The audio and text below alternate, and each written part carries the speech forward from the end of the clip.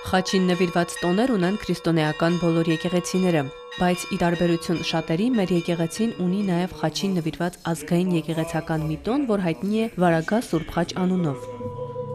Այս տոնը սկիզբ է առնում շատ վաղուց։ Սուրբ Կույս Հռիփսիմեն պատրոնիկե թագուհուց Տերունի խաչապայտի մի մասունք էր ժառանգել։ Ավանդությունը վկայում է, որ երբ Գայանյանց կույսերը Դիոկլետիանոսի հալածանքներից խուսափելով ապաստանում են Վարագա լեռան վրա, Սուրբ նշանն այնտեղ են ամփոփում որպես Պարքև Հայաստանին։ Հայոց աշխարհում գիտեին Սուրբ նշանի Վարագա լեռան վրա պահվելու մասին, սակայն գտնվելու ստույգ վայրը հայտնի չի եղել։ 653 թվականին Թոդի կանոնով Միկրոնավոր իր աշակերտի Հովելի հետ միասին գնում է ճգնելու Վարագա լեռան վրա։ Աղոթքով եւ ծոմապահությամբ նրանք խնդրում են Տիրոջը ցույց տալ մասունքի տեղը։ Եվ մի օր գիշերամիջին ճգնավորները տեսնում են 12 լուսեղեն սյուներ, որոնք վեր էին խոյացել երկրից մինչև երկինք, ճիշտ այն տեղում, որտեղ կույսերը թաքցրել էին խաչապայտի մասունքը։ Լուսեղեն սյուները 12 օր երևում են Վարագա լեռան գագաթին այնպես, որ հերավոր վայրից եւս տեսանելի են լինում։ Հոգևորականներն ու աշխարականները մեծ թափորով հայոց Ներսես 3-րդ տայեցի կաթողիկոսի եւ Վարդ Ռշտունի սպարապետի գլխավորությամբ գալիս են Վարագ երկրպագության։ Ներսես հայրապետ Նիհիշատակ Վարագա Սուրբ Խաչի Երևման հրաշքի տոն է սահմանում եւ 12 լուսե սյուների Երևման վայրում եկեղեցի կառուցում։ Վարագա Խաչի տոնն այս տարի նշվեց սեպտեմբերի 29-ին։ Երևանի Զորավոր Սուրբ Աստվածածին եկեղեցում պատարակիչն էր Տեր Հայկազուն Քահանա Մկրտչյանը։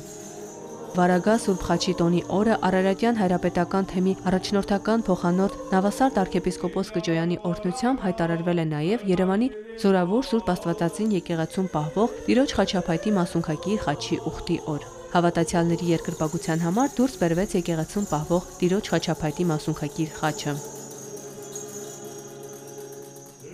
Հպվելով մասունքին մենք ստանում ենք առաջերտին զորություն, որպեսզի կարողանանք այս կյանքի դժվարությունները Աստծո զորությամբ հաղթահարել, ստանում ենք բժշկություն հոգևոր եւ մարմնավոր եւ ընդհանրապես մեր կյանքը դառնում է ավելի բովանդակային, ավելի նպատակային։ Փորձենք ինչ որ զորություն ստանալ դրանից մեր կյանքում, թե հոգևոր, թե ֆիզիկական առումով։ Շատ ուրախ եմ, որ եկեղեցին լեփլեցուն է։ Այստեղ են ոչ միայն տարեց մարդիկ, այլ նաև երիտասարդներ եւ մանուկներ, որը շատ ուրախալի է։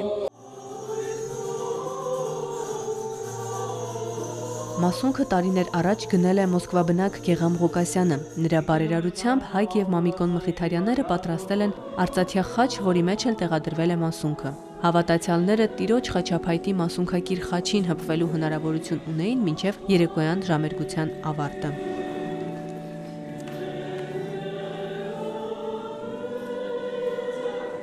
Մարի Խաչատրյան, Տիգրան Մինասյան, Եկեղեցական կյանք